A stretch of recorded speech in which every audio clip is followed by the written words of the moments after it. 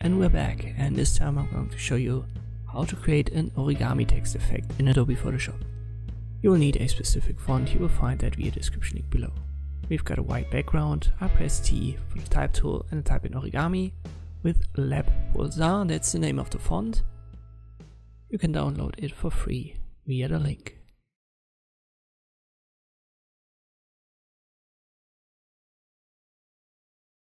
Alright, let me position it to the center. I press Ctrl T to resize it, press Enter, then Ctrl A, and I align it to the center. Ctrl D to deselect it all. And I change the color to this typical Photoshop color that's used for the Photoshop logo. Now go to Layer, Rasterize, and Type. We've turned it into a layer. Now open a new layer then hold Ctrl and click on the origami layer. So now it's selected. And then use the layer mask for your new layer. So we've got this layer mask created. If you hold Alt and left click, you can see what we've got here. So what we now want to do is quite simply use the marquee tool. M is the short key for that. And we want to select these overlaps that we could display as a fold and if you want to do it perfectly, you use these pixels to hit the perfect spots. Afterwards, just press G for the gradient tool.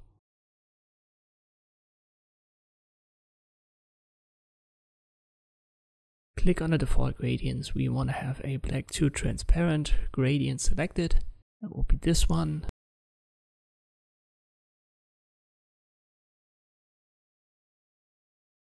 Click on OK and I will use it.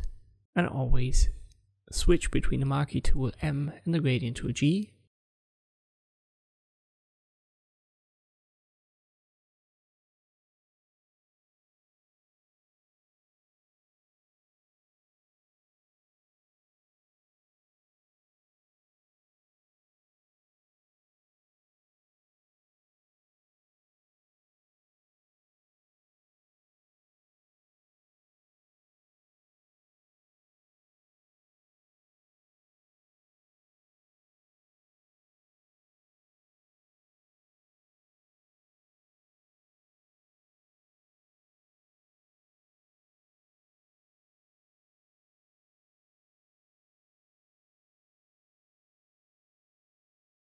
Another helpful tool here would be P, the pen tool.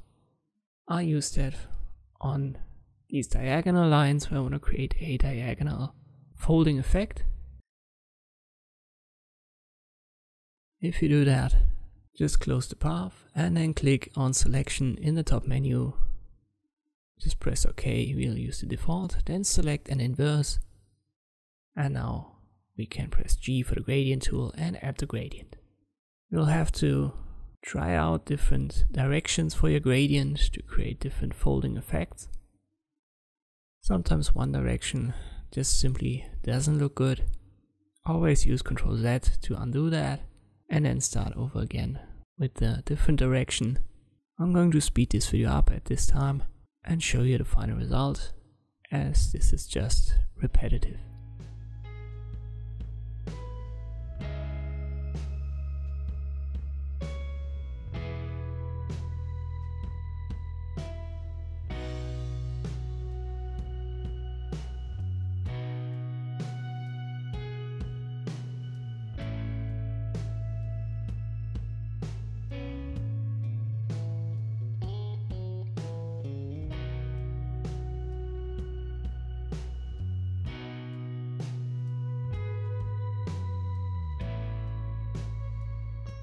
And this is the final result. This is how you can create this origami text effect. As I've said, the font is in the description below.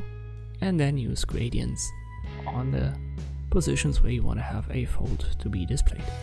Thank you for watching and I'll see you next time.